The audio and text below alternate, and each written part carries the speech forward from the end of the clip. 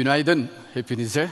Sayın Bakanım, Sayın Valim, kıymetli başkanlar, sevgili meslektaşlarım, TURİD üyeleri ve gastronomiye ilgi duyan, sevda duyan siz katılımcılar, basın mensupları hepiniz dördüncü Global Gastroekonomi Zirvesi'ne hoş geldiniz.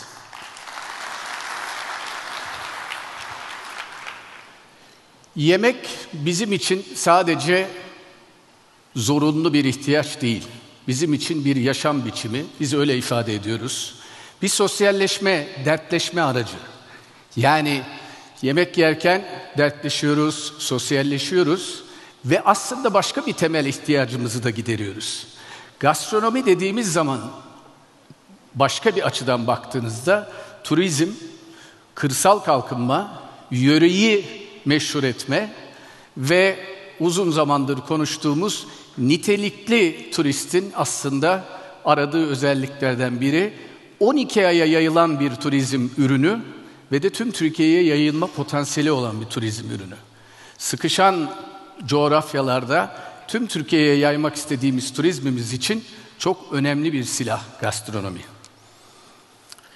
Konuşmama TURİD'i yani Turizm Restoran Yatırımcıları ve Gastronomi İşletmeleri Derneğimizi biraz rakamlarla anlatarak başlamak istiyorum.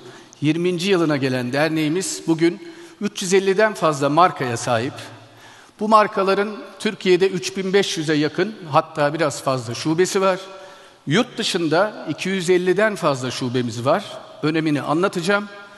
190 milyon ziyaretçimiz var yılda. Ve de 180 bin kişiye direkt istihdam sağlıyor Turid. Bir başka önemli konu, başka rakamlarla birazdan derleyeceğim, toparlayacağım. Türkiye'nin toplam yeme içme ekonomisinin ki bunun içinde turizmdeki gastronomi de dahil.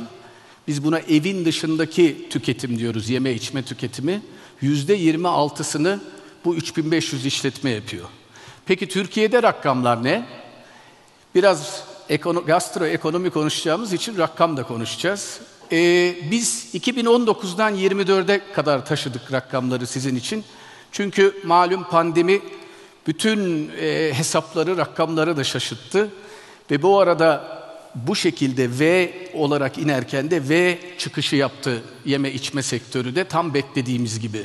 Rövanş dediğimiz bir tüketim oldu. Sosyalleşmeye ne kadar özlem duyduğumuzu anlatan bir tüketimle geri geldi misafirler. E, işletme sayımız 2019'da 128 binken bu sene sonunda 139 bin ile kapatacağımızı öngörüyoruz. Sektörün cirosu TL olarak baktığınızda özellikle son iki senedeki enflasyonla birlikte rakamların geldiği yerde 900 milyar TL'ye ulaşmasını öngörüyoruz bu sene sonunda. Büyüme oranlarını TL ve USD olarak ayrı ayrı iki kalemde inceledik. Enflasyondan arınmış büyüme oranı hesabı biraz zor. Çünkü enflasyon verileri TÜİK ile gerçek enflasyon arasında fark olduğunu düşündüğünüz zaman tam bir netice vermiyor. Ama burada önemli bir nokta olarak gördüğümüz konu 5.68 olan 2019 yılındaki dolar kuru 35 ile yıl ortalaması olarak kapayacağını düşünüyoruz. Şimdi bu rakamları nereye bağlamak istiyorum? Önce e, biz bu zirveyi niye yapıyoruz anlatayım. Ondan sonra da bir restoran matematiği ile anlatacağım nereye bağlamak istediğimi. Biz gastroekonomi zirvesini, gastronominin potansiyelini anlatmak için sivil toplum kuruluşlarıyla özel sektörün ve kamunun işbirliğinin önemini, dayanışmasının önemini anlatmak için yapıyoruz. Yurt dışından ilham veren konuşmacıları getirerek gastronomiyi biraz daha ilgi odağı haline getirmek istiyoruz. Bu yaşam biçimi olarak adlandırdığımız gastronomi aslında paydaşlarıyla birlikte çok büyük bir ekonomi. Ve ülkemize de getirebileceği faydaları kültür diplomasisi üzerinden bakarsanız, Castro diplomasi dediğimiz özelliğiyle de siyaseten sıkışan diplomatik ilişkilerde aslında yumuşak güç, soft power dediğimiz çok önemli bir özelliğe sahip gastronomi. Bugün burada gastronomiyle ilişkin farklı bakış açılarının katkı sağlayacağı, dünyada ilk kez gastronomi ve ekonomi kelimelerini terim olarak bir arada kullanan Zirvenin dördüncüsünü yapıyoruz. Hala gastroekonomi isimli zirve dünyada bir tek TÜRİD'in düzenlediği içerikle bize ait. Bunun da haklı mutluluğunu ve gururunu yaşıyoruz. Teşekkür ederim. Şimdi gündemde çok fazla restoranların fiyat pahalılığı ve boykota kadar giden e, oluşan gündeme huzurlarınızda bir cevap verelim. Size de biraz ilk defa içimizi dökelim istedik. Yani matematiğimizi anlatalım istedik.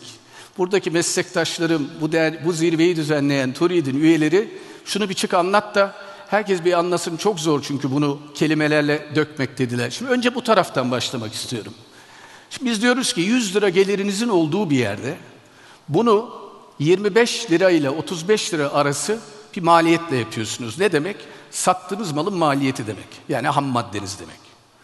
Bugün personel yani insan kaynağı giderini yüzde 30 ile 35 arasında bir yere getiren işletme mutlu. Bu oranları eskiden daha düşük oranlarda tutabiliyorduk. Bugün 35'leri gördüğümüz hatta geçen işletmelerimiz de var. Enerji giderleri bundan 10 sene önce yüzde 2-3 olarak kayda aldığımız giderler bugün 8 ila 10 yüzde arasında değişiyor. Kiramızı da koyduğumuzda 10 ile 15 arası koyduk. Diğer giderleri de koyduğumuzda soldaki sütun size yüzde 20-25 arası bir kar bırakıyor. Eve ekmeğimizi götürdüğümüz oran orada. Sağdakinde ise bir bardak su içiyoruz. Şimdi buna geri geleceğim. Bu taraftaki tabloyu çok önemsiyoruz. Bakın 2020 yılında asgari ücret 2825 lirayken bugün eğer Temmuz'da bir daha zam görmezse, artış görmezse 17 bin lirayla yüzde 600'lük bir artışa sahip. Hani şu tabloda giderimizin yüzde 30'unu oluşturan personel gideri vardı ya, böyle bir artış yakalamış son 4 senede. Ham maddelerimiz, yiyecek içeceklerimizin ortalaması yüzde 750. Buradaki en tepedeki kolon. Enerji yüzde 700. Buna karşılık döviz kurunda ne olmuş? Euro 9.35'ten 34.57'ye gelmiş. Yani burada anlatmak istediğimiz şey şu. Döviz bazında bizim en büyük iki kalem giderimiz iki misli artmış. Yani eskiden 100 euroya yediğiniz bir yemeği bugün bu matematikten dolayı 200 eurodan aşağıya yeme şansınız pek yok. Yerseniz sağdaki sütundaki yiyecek içecek maliyeti daha da yükselecek.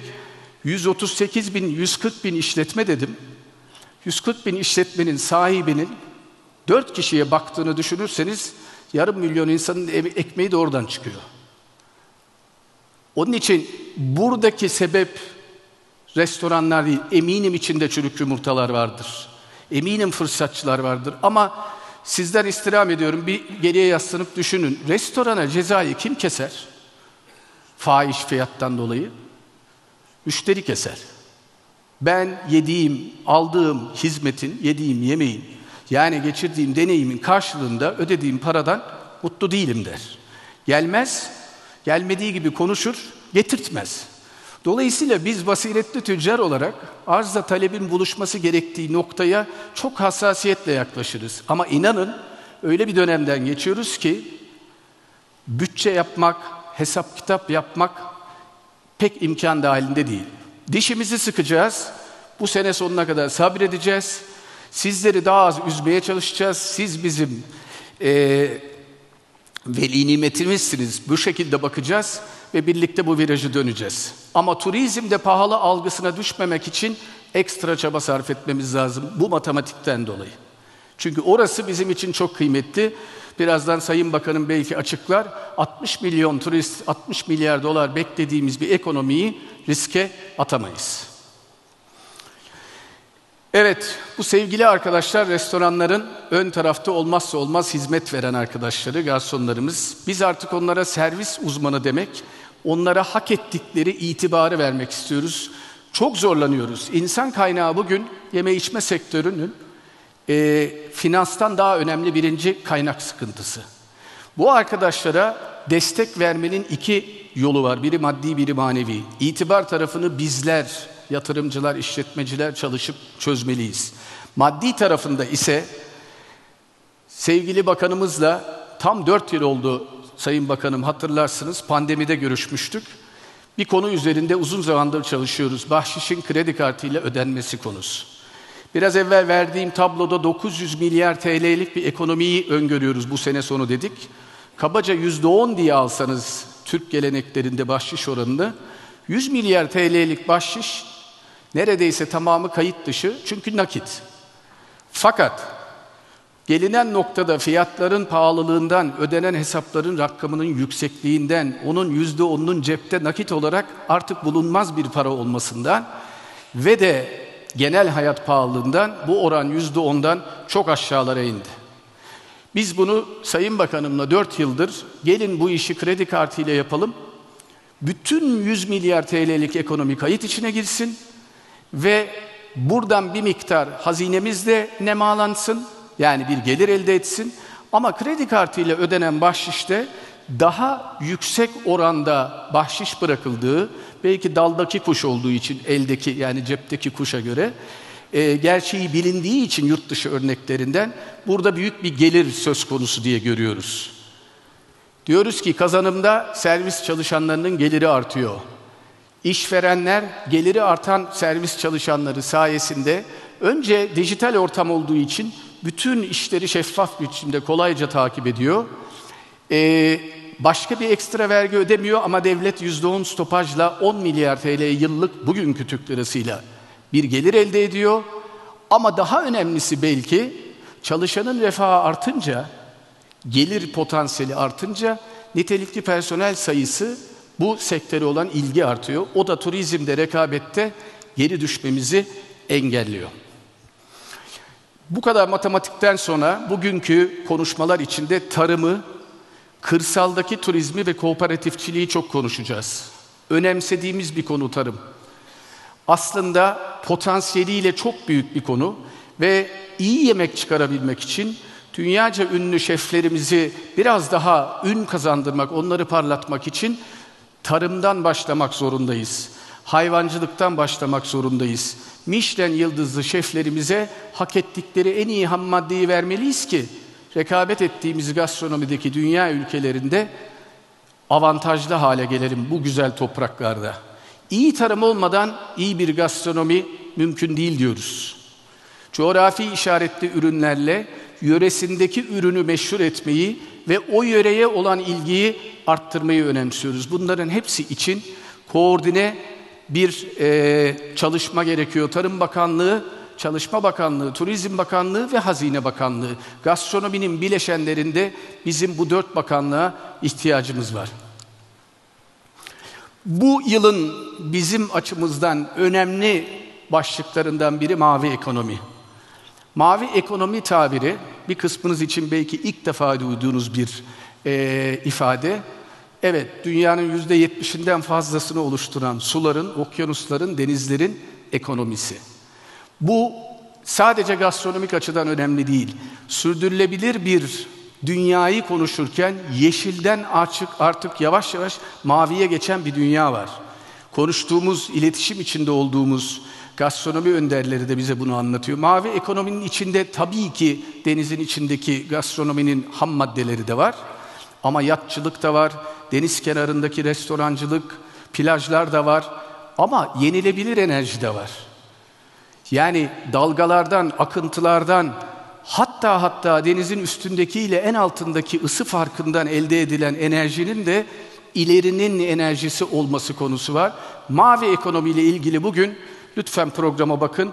İlham verici bir konuğumuz ve ilham verici konuşmaları olacak. Turquality bunu da yine Sayın Bakanıma bakarak anlatıyorum. Çok konuştuk. Ticaret Bakanlığı ile yakın zamanda yine çok önemsediğimiz ve görüşmek için arzu ettiğimiz bir konu Turquality. Turquality bir restoranın yurt dışında açtığı zaman bizim o 250 şubemiz için kullandığımız bir ifade var. Restoran ihraç ediyoruz biz. Türk markasını götürüyoruz. Türk markası ile birlikte ülkemizi tanıtıyoruz. Gittiğimiz yere eğer yatırım aşamasında Türk unsurlarını daha fazla götürürsek, götürdüğümüz unsurların oranı kadar bir yatırım desteği rica ediyoruz. Yani önce biz koyalım, sonra siz bunu takdir edin ve bize yatırım desteği verin. Törkü aletinin içinde bunu bir hizmet ihracatı görün diyoruz. Mutfak sanayimiz, züccaciyemiz, ee, yumuşak güç dediğimiz mimarlarımız, beyinlerimiz, tekstilimiz, masa örtülerde yatırım desteği konusu biz yatırımı arttırdıkça siz de bizi destekleyin diyoruz. Kira desteğini yurt dışında açtığımız restoranımızın menüsünde Türk unsurlarını arttırdıkça siz bize verin diyoruz. Biz ne kadar Türk ürünü ihraç edersek restoranımız kanalıyla o kadar verin diyoruz. Bunun içinde şarap var, zeytinyağı var, bakliyat var. Gittiği ülkenin regülasyonuna göre daha birçok götürebileceğimiz potansiyel var. Bu potansiyeli anlatmak için bir örnek vereyim. Amerika'da irili ufaklı 5000 tane İtalyan lokantası var. Bu İtalyan lokantalarının yıllık kabaca ortalama İtalya'dan aldığı ürün 500 bin dolar işletme başına. Biz sizin adınıza çarptık o beşleri birbiriyle ve sıfırları iki buçuk milyar dolar çıktı. Bu iki buçuk milyar dolar şarap, kurutulmuş et, peynir, zeytinyağı gidiyor sıra. Şimdi burada da bitmiyor. O 5000 işletmede hani bizde 3500'e yılda 190 milyon ziyaretçi giriyordu ya. 200 küsur milyon ziyaretçisi olsa o Amerikalılar o tattıkları restorandaki ürünü koşarak marketlerden satın alıyor. İşte orada derya deniz bir hesap var. Onun nasıl bir hesap olduğu ve ne sonuç çıkaracağının bilgisi bizde yok. Kira desteğini buraya bağlıyoruz. Biz götürelim, biz götürdükçe siz destekleyin. En önemli ekonomik destek temettü teşviği, temettü desteği. Burada ne demek istiyoruz? Ben ortaklarımla yurt dışında restoran açtım. Bir Türk e, firması olarak yurt dışında yabancı bir firmayla açtım ama ben bir Türk'üm. Kar ettim, o ülkede vergimi ödedim. Kar payımı yani temettümü Türkiye'ye geri getiriyorum. Dövizimi ülkeme geri getiriyorum. O kadar garanti bir e, destekten bahsediyorum ki yeri getirdiğim oranda bana destek ver diyorum. Bu konuyu çok önemsiyoruz. Sayın Ticaret Bakanımıza anlatmak istiyoruz. Çünkü o 250 işletmeyi TÜRİT arttırmak istiyor. Bunun için de devletten el görmek istiyor. Bugün konuşacağımız konular içinde yaratıcı ekonomilerin işbirliği var, sinerjisi var. Evet, yılda 800 milyon doları aşan bir gelire sahip e, Türk sineması ve dizileri. Bu kadar başarılı olduğumuz dizilerde acaba gastronomiyle Türk sinemasını ve dizilerini entegre edebilir miyiz, birleştirebilir miyiz? Bunu Sinemalar Genel Müdürümüz Sayın Birol Güven ve yapımcılarımız Timur Savcı ve Yüksel Aksu tartışacaklar. Sevgili Ebru Koralı, bu zirvenin her şeyi, e, bütün omurgası zirve komitemiz başkanı kendilerine moderatörlük edecek. Çok önemli bir konu. İkisini birleştirdiğimiz zaman çok daha büyük başarı elde edeceğimize inanıyoruz. Evet, lüks ile gastronominin birleşimini de konuşacağız bugün.